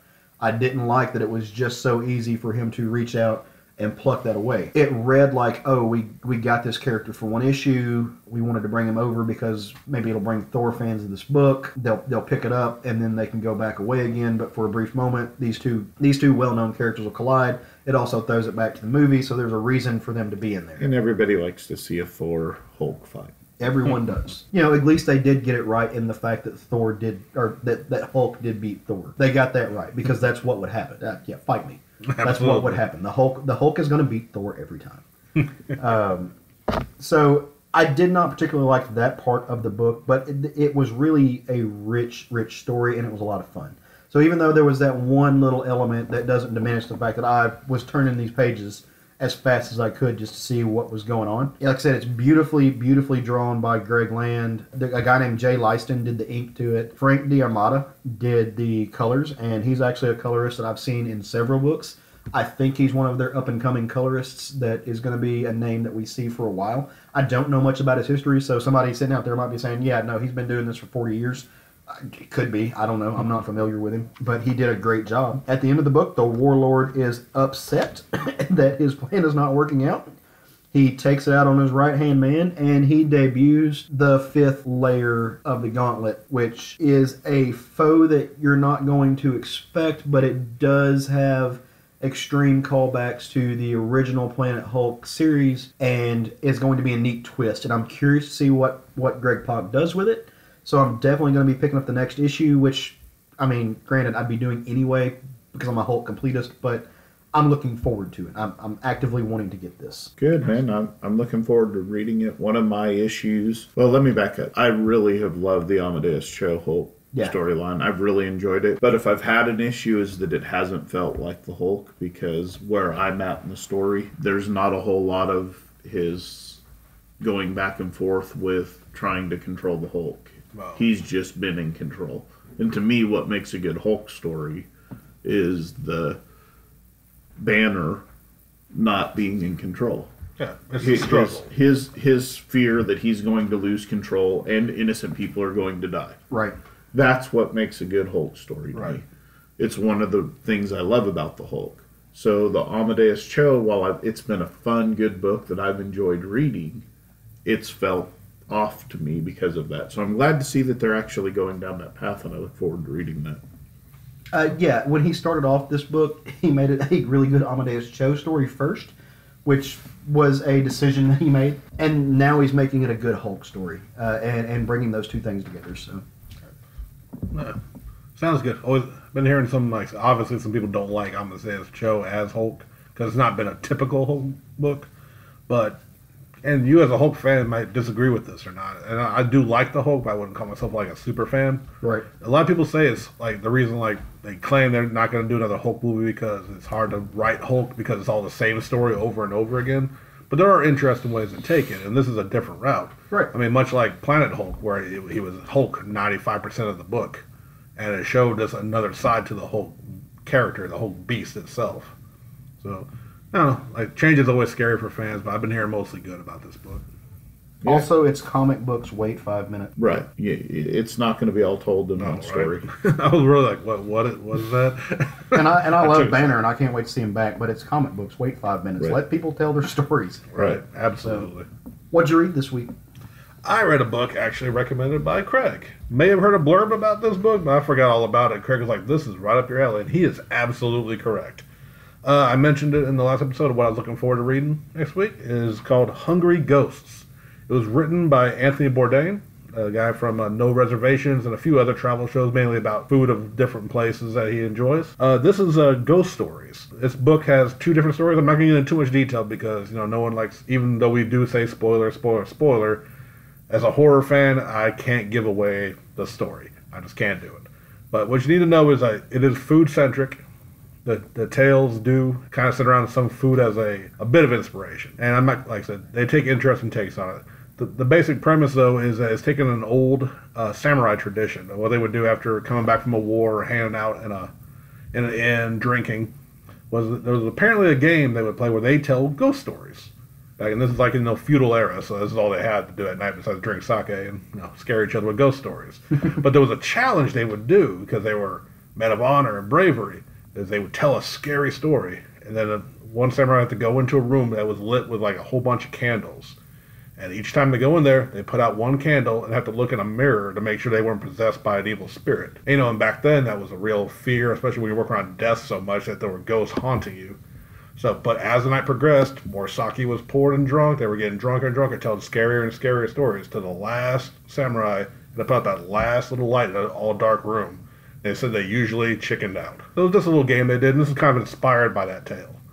To where they're all gonna, like, there's a group of people meeting up in modern time, and they're going to tell ghost stories, and, and they're just already early on they're showing you there's supernatural elements involved. Really good, uh, published by Dark Horse Comics. You know, like, it may not be the big three or the big, I don't know how many big numbers are supposed to be, but Dark Dark Horse is definitely number it's a four. well-known name. It's yeah. well, I guess it would be. I would say it'd be number four four, or five, yeah, Yeah. in sales. They're they're a big fan. There's a book they publish. I'll get into in a different episode that I'm a huge fan of. That that's for another time. But yes, Hungry Ghosts. If you like ghost stories, it's the art's very stylized, very good, and it's Anthony Bourdain writes a damn good comic. I was really surprised. I didn't know how good of a writer he is. I I read one other book by him. Well, I think he's teaming up with another writer to do it. Is he not? Uh, let me double check in here. Uh, oh yes, yeah, he is writing with uh, Joel Rose. okay, yeah. And there's uh but there are art like each of the stories has a different artist to it as well. So you get a compilation of artists Yeah, in there. and that's not to take anything away from Mr. Bourdain. Um, the, but in the past, there have been big name people Mm-hmm. um, who aren't particularly comic writers, and comic writing is different than regular writing. So, you know, guys like Ta-Nehisi Coates, when he wrote his first comic script, he's a prose writer. They teamed him up with a comic writer so that he can understand scripting. Um, they did the same thing with CM Punk. They teamed him up with a, a comics writer, when, and now he's doing it by himself. So Brian it's, yeah, it's just something to, to, to get them into the thing. And like I said, that's not to take anything away from him because he you know he seems to have written an amazing book that you thoroughly enjoyed. Well, it, it was a very good book, and uh, there's an interesting blurb in the back about how uh, Joel Rose met Tom or uh, Tony uh, Bourdain, Anthony Bourdain. To, to, you, Well, he you're called him close. I'm You're getting close. close. He's Tony. He Well, called actually, they, Tony. they call him Tony in the back. That's why I was just reading it. So He threw all probably off. call he probably goes by Yeah. Tony. And, But Anthony, how he met Anthony Bourdain. Uh, I'm just going to jump straight into it because he had already been kind of publishing some stuff. But uh, he goes, and then one day, not long after that first issue, in the mail, unsolicited, I got this manuscript. It wasn't fiction, which is what I was publishing, but a comic. I looked at it. The art sucked, but the writing was good. I dropped the guy a note, and one day he showed up. A tall dude, if I could judge, had just scored. He looked and sounded high.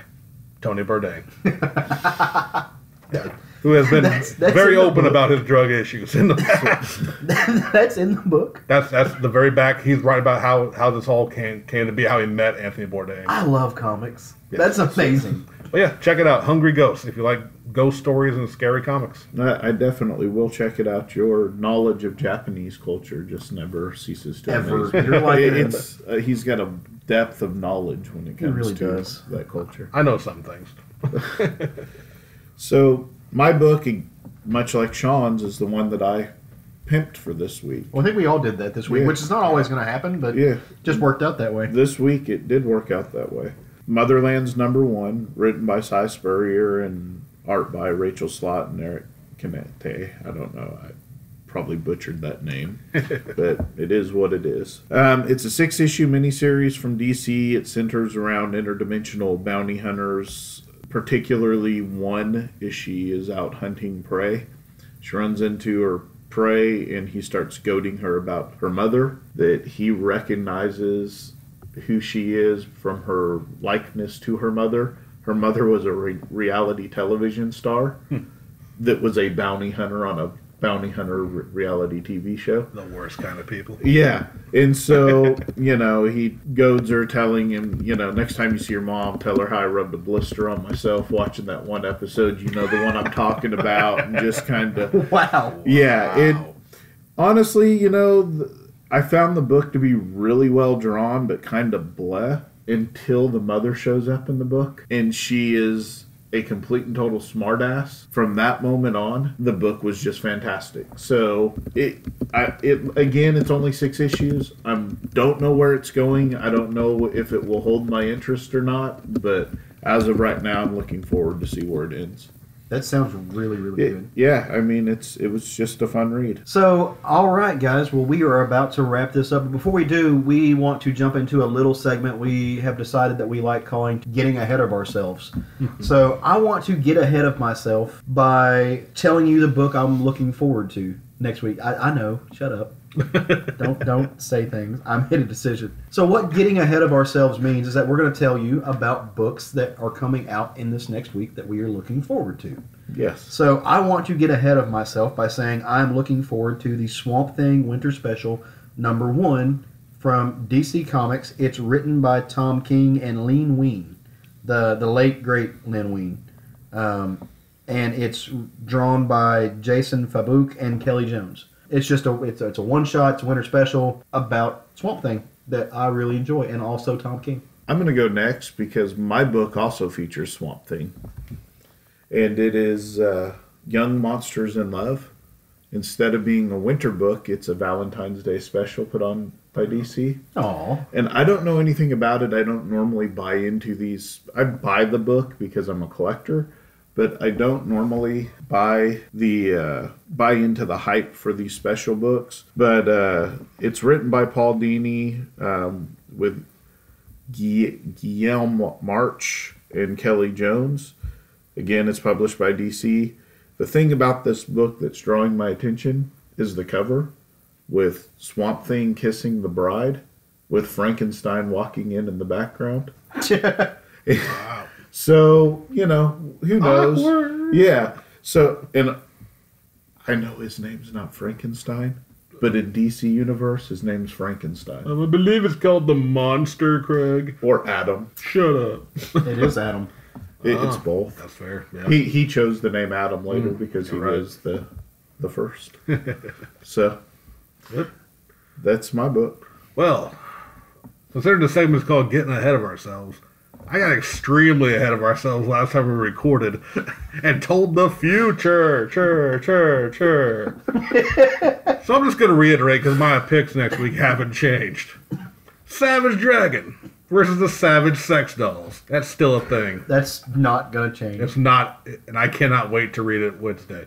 Uh, as well as Batman, next issue of Batman with uh, Super Friends. We're going to find out what happened with Wonder Woman and him and the Gentleman. And of course, it'll be Batman White Knight. It comes out next week as well.